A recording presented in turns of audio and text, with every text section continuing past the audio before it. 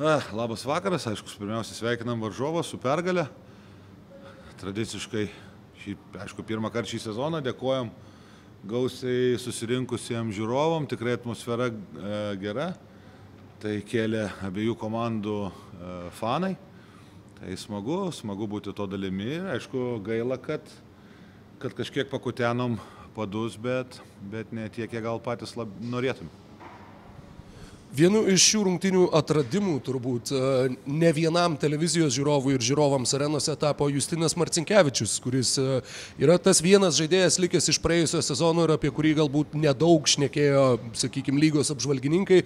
Ar jūs patį nustebino toks jo žaidimas, ar jis visgi jaučiasi ir treniruotėse tas tobulėjimas ir ėjimas pirmin? Ne, tikrai nenustebino. E, Justas turėjo gerą savaitę visą treniruotėse, matėsi pirmam kelinį neleidom dėl tam tikrų rotacijų ir dėl ryto sudėties, bet, bet tikrai nestebina, Justas, kaip ir jūs minėjot, antri metai, bet praeitą sezoną nuo vasario nežaidė dėl pėties traumos, tai, tai toksai pusiau tas pats žaidėjas, bet džiugu, kad eina, žaidėjas eina į formą ir faktas jam yra šiek tiek lengviau, nes, nes žino, ko mes norim ir taip toliau, bet uh, ne tik žinojimas taisyklių ir, ir kažkokių tai mūsų taktikų, bet manau tas jo kovingumas užkūrė likusius žaidėjus. Manau, kad uh, turim tų žmonių, kurie kovoja ir kurie gali pakelti tą kovos dvasę ir tų žaidėjų, kurių gal pirmas dvi rungtynės pastangų trūksta. Tai aš labai viliuosi, kad tai bus ta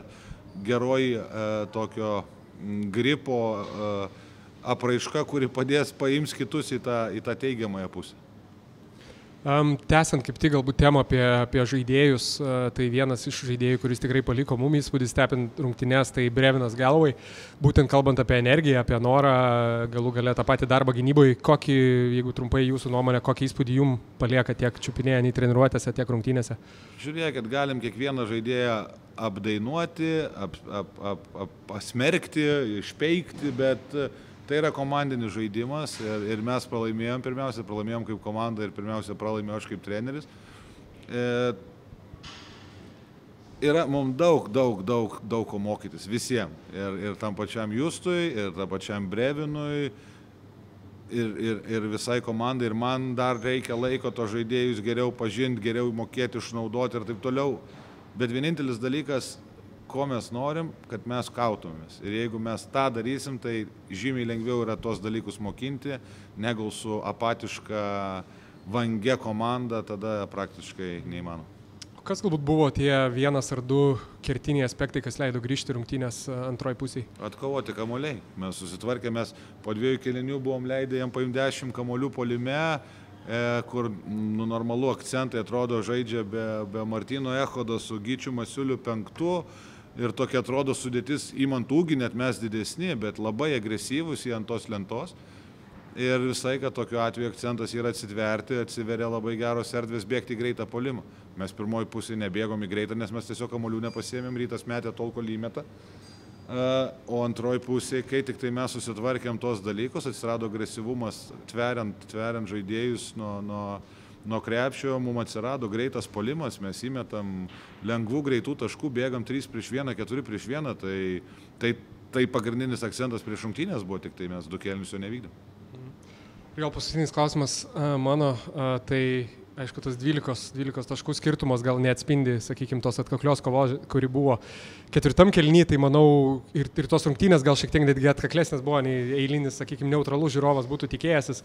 Nežinau, viduj pasikalbat kažkiek, ar, ten, ar su komanda, ar su Jonu Mačiuliu, kad vat, beveik visa komanda pasikeitė, iš pernai liko ten iš esmės tik Marcinkievičius, bet su rytu kaunatės kaip lygų su lygiai arba net ir, net ir, net ir, net ir laimit. Yra, yra kažko, dėl, dėl ko būtent su rytu puikiai, puikiai pavyksta sužaisti. Na, žinot, šį sezoną kol kas žaidėm dvi rungtynės ir, ir tikrai nesam kažkokio užsidėję akcento, kad tai yra rytas ir vad su rytu turim žaisti. Mes tikrai norėsim visą laiką iš, iš, iš komandos tos kovinės dvasios, o per ją kažką gali padaryti. Jeigu mes jos neturėsim, tai mums labai, labai sunkus sezonas laukia. O kitas dalykas, nu, vėlgi mes manau, kad sureagavome rungtynės Jonavoje. Tikrai buvo klampios rungtynės, visai kitokia komanda Jonava. Ir, ir taip, bet kažkokio tai akcento ant ryto tikrai neužsidėjo. Taip, su nevėžiu turim tokią istoriją, kad čia mums sunku šitoje arenoje, neišimtis buvo ir šiandien, bet laimėjom. Nepatiko daug kas šiandien, nes varžovai mus outhaslino daug situacijų.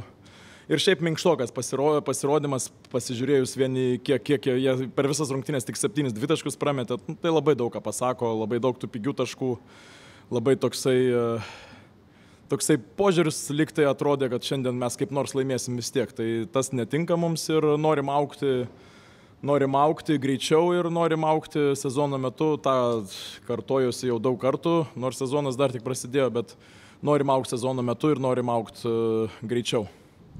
Ketvirtam kelinukė, jeigu nesimaluosiu, dar buvo akimirkų, kai kedainiai netgi buvo priekyje šiose rungtynėse. E, kas padėjo būtent tomis uh, atrodytų akimirkomis, kai komanda galbūt ir galėjo pasimest, pradėti jau spaudimą, bet kaip tik komanda susijėmė ir sugebėjo užtikrinti finišuoti. Kokie faktoriai tą lėmė? Ne, mes žinom, kad sumesime savo taškus, nebuvo jokios tam panikos, tiesiog nebuvo kantrybės gynyba, atrodo 20 sekundžių, gal kažkur neblogą tą, tą rodom, visas taisyklės įgyvendinam ir paskui kažkur to, ta jaunat, tas jaunatviškumas galbūt uh, galbūt kažkur mažiau tos patirties ir, sakau, praleidžiam tokius taškus, kurių tikrai neturėtų būti e, ir nesvarbu, prieš ką mes bežaistume. Tai norisi tos dalykus e, e, tvarkyti kiek įmanoma greičiau, bet vėl, vėl grįžkim prie to, kad rytas, rytas toliau taip žais, mes, mes mesim daug taškų ir nes mes žaisim greit ir nes, nereikia tikėtis, kad varžovai mums mes 65 taškus arba galim minkit kamolį ir, ir sakau, pabaigti 75-71, bet vėl kažkas blogai bus. Um, aišku, dar sezono pradžioje, tai anksti kalbėt, bet uh, kokį, kokį įspūdį kol kas palieka būdų uh, ryto žaidėjai, tiek puikias rungtynės sužaidęs Velička, bent jau poliume, tiek Ardžiai Kaulas, taip pat išsiskyręs taškais. Jeigu taip apie abu vienu žodžiu, tai rimti vyrukai. Manau, labai daug ką pasako tas, tas apibūdinimas, moka komandą valdyti, moka sustatyti labai gerą, jaučiam ryšį su jais, tiek komanda, tiek treneriai ir, ir manau, kad e, Velička jau dabar norim, kad Arnas jau dabar paneigtų kažkokius gandus, kad jis yra sunkiau treniruojamas, tai aš iš karto sakau, kad ne, ne, ne, ne, ne, jis yra labai lengvai treniruojamas.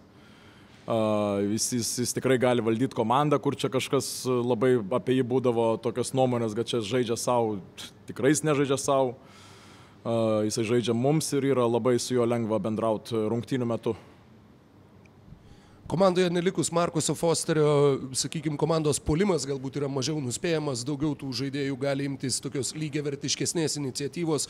Kokius dar skirtumus įvardintumėt šios Vilniaus ryto sudėties lyginant su pernykšte?